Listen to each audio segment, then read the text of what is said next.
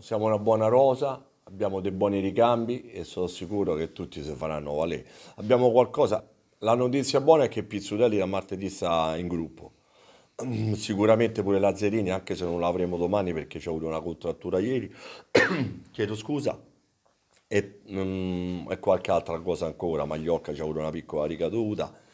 però dai, siamo pronti e faremo una buona gara. Abbiamo tutti, abbiamo Campaner, abbiamo Mastino in quel ruolo, abbiamo eh, Ruggeri, abbiamo Zona, no, abbiamo alternative secondo me ottime, di qualità e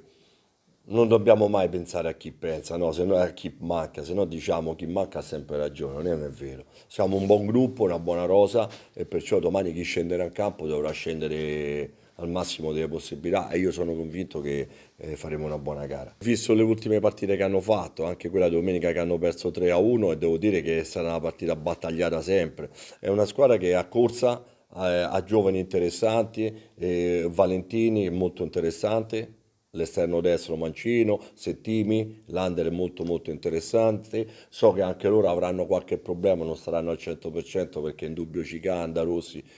sappiamo un po' tutto diciamo, però è una squadra coreace, è una squadra poi messa bene nel campo da Monaco e sicuramente sarà una partita da battagliare, come dico sempre io, anche perché loro hanno bisogno di punti insomma, però noi sono convinto che siamo pronti, siamo pronti e soprattutto sapere che sarà una partita tosta sotto il piano della corsa, del fisico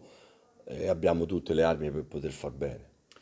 Eh, sembra paradossale dirlo rispetto agli obiettivi di inizio stagione, però con gli scontri diretti che ci sono in questo turno di campionato, il Gavorrano che arriverà qui al Comunale tra una settimana, insomma potrebbero essere dieci giorni non dico decisivi, però importanti anche per l'Arezzo. Ma non so dieci giorni, saranno due mesi, due mesi e mezzo importanti, ma importanti come ti, ti ripeto, ho detto l'altra settimana, per noi stessi, per far capire a tutti che noi cerchiamo di onorare sempre quello che facciamo, da tutti i giorni di allenamento e, e ogni volta che scendiamo in campo dobbiamo dare tutto. Poi io sono convinto che noi otterremo dei buoni risultati e non guardiamo gli altri, guardiamo a noi, guardiamo noi stessi, umili, andare in campo, come dico io, prima con la sciabola.